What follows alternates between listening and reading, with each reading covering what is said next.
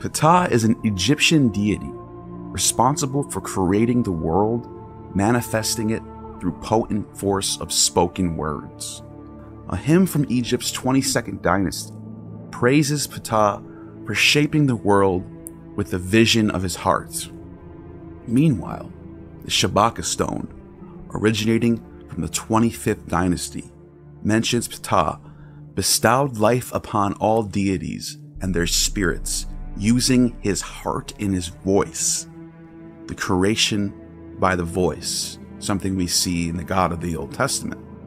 His worship then moved beyond the borders of Egypt, all the way into Syria, and was exported throughout the eastern Mediterranean. Through dissemination by the Phoenicians, we find figures of Ptah in Carthage. His epithets Ptah, the begetter of the first beginning, Ptah, Lord of truth, Ptah, Lord of eternity, one who listens to prayers, master of ceremonies, master of justice, the God who made himself to be God, the double being, the beautiful face. Now, some of you watching this right now may be familiar with the Heliopolitan Ennead and the creation myths that say that Amun or Atum is the self created craftsman who created the other gods. And though this is certainly true, the priesthood in Memphis and Crocodipolis and the Elephantines have competing mythologies that make Ptah the self created demiurge who creates the other gods and humans. An Elephantine, Khnum, who, like Ptah, is also depicted as a craftsman or demiurge with the potter's wheel behind him, just as Ptah has images of himself with the potter's wheel behind him, as he creates gods and humans alike.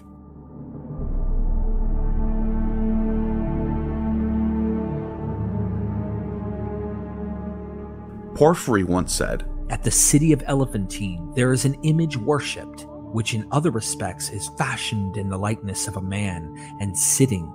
It is of a blue color and has a man's head and a diadem bearing the horns of a goat. He sits with a vessel of clay beside him, on which he is molding the figure of a man. And from having the face of a ram and the horns of a goat, he indicates the conjunction of sun and moon, Ra and Yah, in the sign of the ram, Amun, while the color of blue indicates that the moon in that conjunction brings rain, Tefnut. He goes on to say, In the mysteries of Eleusis, the Hierophant is dressed up to represent the demiurge and the torchbearer, the sun, the priest at the altar, the moon, and the sacred herald, Hermes. Moreover, a man is admitted by the Egyptians among their objects of worship. For there is a village in Egypt called Anubis, in which a man is worshipped, and sacrifice offered to him, and the victims burned upon his altars.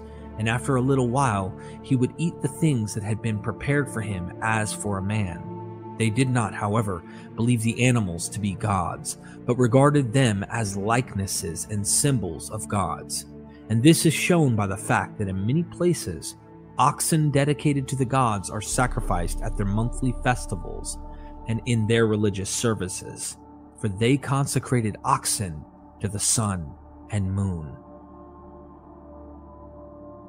What I find the most striking about this passage is his comparison to the Eleusinian priests of Bacchus and Demeter. Now, Khnum who Pharaoh Khufu is named after, the famed builder of the Great Pyramid of Giza, almost seems like a perfect synchronization between the competing creator gods Amun Ra and Ptah. Ptah is one of the three major gods of the Memphis Triad, along with Sekhmet, and he's also the father of Nefertim. And Khnum has an almost identical role within the Elephantine Triad, the Temple of Elephantine was dedicated to Khnum, his consort Satis, and their daughter Anuket.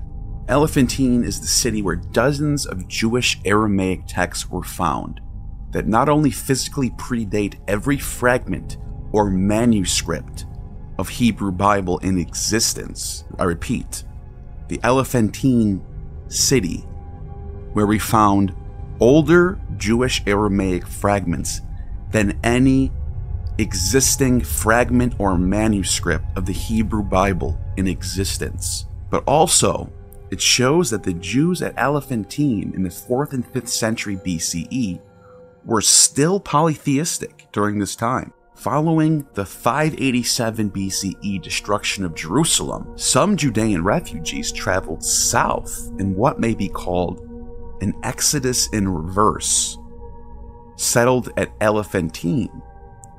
They maintained their own temple, the House of Yahweh, or Yahu in this case, in which sacrifices were offered, evincing polytheistic beliefs, functioning alongside that of Khnum. Gods like Osiris and Isis are all over the place in these texts. The temple was destroyed in 410 BCE at the instigation of the priests of Khnum. So, what happened? Was Yahweh in direct competition with Khnum over who is the true divine craftsman? Possibly. One of the most common attributes among these metallurgy craftsman gods like Hephaestus of the Greeks, Ptah of the Egyptians, and Vulcan of the Romans is their connection to volcanoes and mountains due to the richness of metal ores found at these places. It is very possible that Yahweh is no exception, although he's from an entirely different location. In Exodus, the presence of fire and smoke is paired with the mountains quaking. These tremblings, akin to small earthquakes, are typical of volcanic eruptions, leading to the expulsion of warm gases from the cracks. This expulsion is accompanied by a significant sound, referred to in the Sinai Theophany as powerful shofar sound. And you came near and stood at the foot of the mountain, while the mountain burned with fire to the heart of heaven, wrapped in darkness, cloud, and fog. Then Yahweh spoke to you out of the midst of the fire. You heard the sound of words, but saw no form. There was only a voice. Yahweh's revelation is always at a mountain, whether called Sinai or Horeb the event pictured like a volcanic eruption. As these texts show, volcanism seems to be an essential attribute typically associated with Yahweh, linking him to the craftsman metallurgy gods, as I mentioned before. The account of the Sinai revelation, with its volcanic imagery, is meant to show that Yahweh himself is not just a divine emissary, but a demiurgic craftsman. The mountains melted, Nazlu, to Yahweh. Sinai before Yahweh, the God of Israel. Some believe Mount Sinai might be one of these Arabian volcanoes, which the Israelites approached in the text when departing Egypt. Jacob Dunn even theorizes that Yahweh was once an Arabian volcanic deity. This ties into the theory that Yahweh's worship in Israel has Midianite roots. This theory draws from biblical references that depicts Moses' introduction to Yahweh in Midian, near the mountain of God, close to Jethro's residence in Exodus 3 1 through 6. Here, Moses is instructed by God to bring the Israelites after their Egyptian exodus. Exodus 3:12. Intriguingly, Moses' father-in-law is portrayed as a Midianite priest, suggesting Moses might have adopted local religious beliefs from him. In other passages, Moses' father in law is identified as a Kenite. Some Kenites settled in Israelite lands and maintained a close alliance with them. The biblical figure Cain, considered the Kenites' founding ancestor, is significant in early biblical narratives, highlighting this group's ancient proximity to Yahweh. Cain's role as the initial person offered to Yahweh in Genesis 4 3 reinforces this notion. While Yahweh's association with the Midianites might explain Israelites using volcanic imagery to depict the divine presence. Linking Yahweh to the Kenites prompts a re-evaluation, especially considering the Kenites' metallurgical pursuits.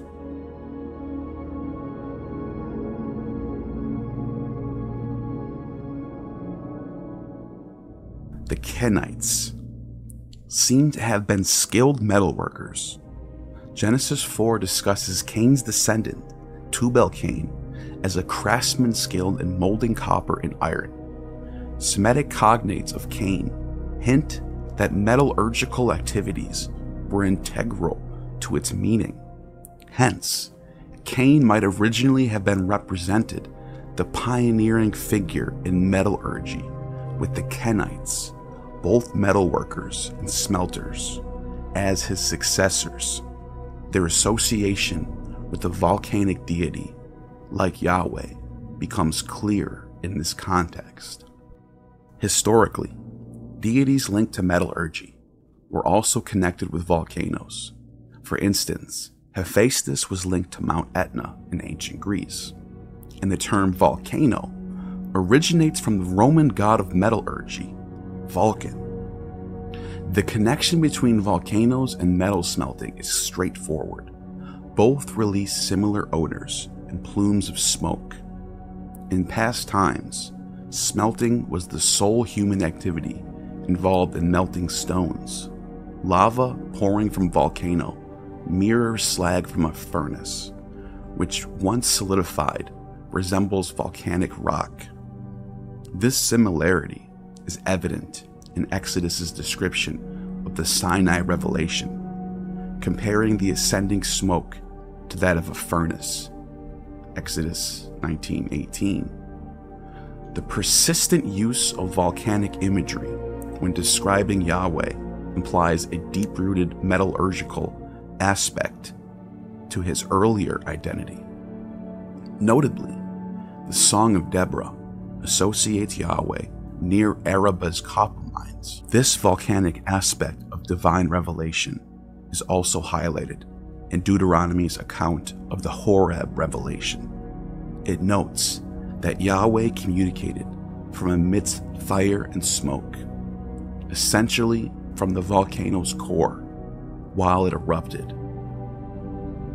O Yahweh, when you came forth from Seir, advanced from the country of Edom, the earth trembled, the heavens dripped, yea, the clouds dripped water. The mountains quaked or flowed before Yahweh, the one of Sinai before Yahweh, God of Israel. The writings in Zechariah support this idea. The book starts by sternly rebuking the earlier prophets of Israel, accusing them of abandoning the paths of Yahweh and ignoring his call. Zechariah 1 4 through 6. This assertion is further elaborated when the text predicts the arrival of four rescuers dispatched by Yahweh, referenced as smiths in Zechariah 2 3 through 4. Smiths. In subsequent revelation, Zechariah 6 1 through 5, Zechariah witnesses four soaring chariots representing the four winds originating from the Bronze Mountains. This terminology alludes to the copper mining regions like Arabah and Sinai, hinting at Yahweh's earlier residence. Thus, even in Zechariah's time, there were those who recalled Yahweh's association with metallurgy.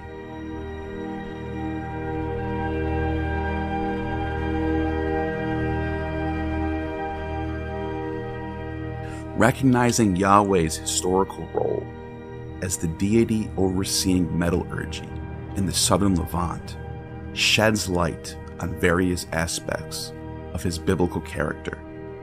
In fact, Yahweh is nowhere to be found in any of the Ugaritic or Northern Canaanite texts or inscriptions, which are dominated by El and Baal, as well as different craftsman god, Kothar-wa-Khasis, who I mentioned earlier, who's identified with Ptah in, texts that survive from Memphis, as well as Enki of the Babylonians. So, Yahweh is most likely local to the southern Levant near the Sinai Desert and Midian. In Isaiah 31 9, an oracle of Yahweh, whose fire is in Zion, in his furnace in Jerusalem. Imagery of metallurgy undeniable here, surrounding Yahweh. This could also help explain the biblical author's attempts to polemicize Baal as an evil opposition to Yahweh, considering how popular Baal was to northern Israel in being the prince and son of El. He only has to be opposed by Yahweh. While many view this portrayal as merely a symbolic expression without deeper theological meaning, considering the other metallic attributes associated with Yahweh, it probably reveals a metallurgical facet to Yahweh's worship in Jerusalem.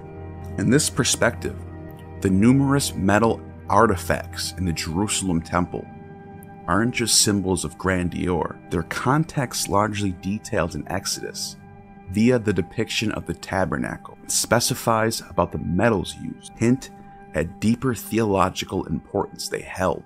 They symbolize the heavenly furnace within the Israelite sanctuary, turning it into the earthly abode of the Israelite deity. Moreover, the copper clad altar in the temple's grounds lends a metallurgical undertone to the sacrifices. The glow from this copper surface, when heated to nearly 1000 Celsius for the burning sacrifices, is reminiscent of the luminance of liquefied copper or gold.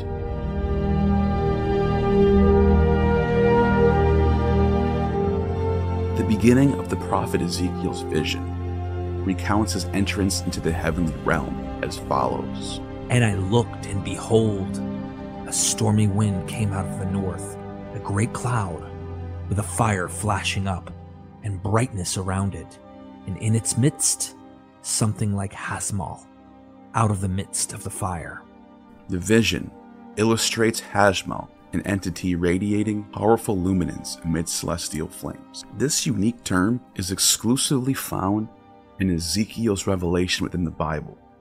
However, comparable words appear in both Egyptian and Akkadian, Hashman and Hashmalu, referring to an amber or yellowish orange metal or metallic mixture.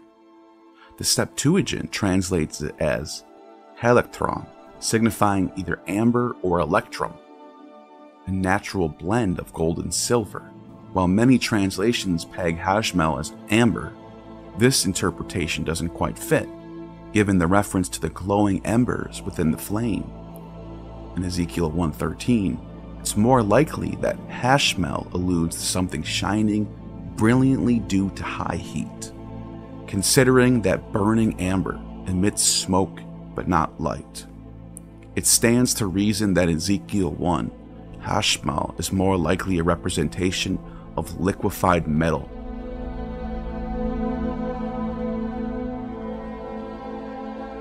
When they moved, I could hear the sound of their wings like the sound of mighty waters, like the sound of Shaddai, a tumult like the din of an army. In Ezekiel's depiction of these beings and their movement, it seems he's detailing the powerful gusts that fuel the celestial furnace, enhancing the creation of shining embers. Essentially, this vision portrays Yahweh's divine realm as a massive kiln, encircling by winged entities that drive the air, current akin to bellows. Taking into account both Ezekiel's imagery and Isaiah's analogy, it becomes clear that these prophetic insights symbolize Yahweh's manifestation in both the celestial and terrestrial realms through the imagery of a colossal furnace. This emphasizes the strong ties of his worship to the world of metallurgy. The oldest plausible occurrence of his name is in the Egyptian land of Shasu Yahweh, an inscription from the time of Amenhotep III, 1390 to 1352 BCE. The Shasu being nomads from Midian. Yes, Midian, there we go again, and Edom in northern Arabia. This gives the Yahweh as a Midian god way more plausibility. When we look at the Greek sources like Herodotus and Plutarch, for which gods are worshipped in this region, they both claim that it's Dionysus and Venus that are the main gods worshipped here. One might immediately dismiss this due to the blatant differences between the Greek Dionysus and Yahweh. However, the Bronze Age Dionysian religion was so widespread and his worship flourished from Turkey down to Egypt along the Mediterranean. So if Yahweh was connected to this ancient god in any way, he would almost barely resemble him anymore by the time of antiquity. It's possible that Yahweh could be a metallurgy volcano god with Dionysian attributes. For example, figures like Tacitus, John the Lydian, Varro, draw parallels between Yahweh and Bacchus Dionysus. Often Jews employed symbols commonly linked to Dionysus, including kylixes, amphorae, ivy leaves, and grape clusters. Plutarch highlighted these resemblances to argue that the Jews venerated a version of Bacchus Dionysus. In Plutarch's Questions in Moralia, he points out that Jews praise their deity using the exclamations Iwa Sabao, chants that are typically related to Dionysus.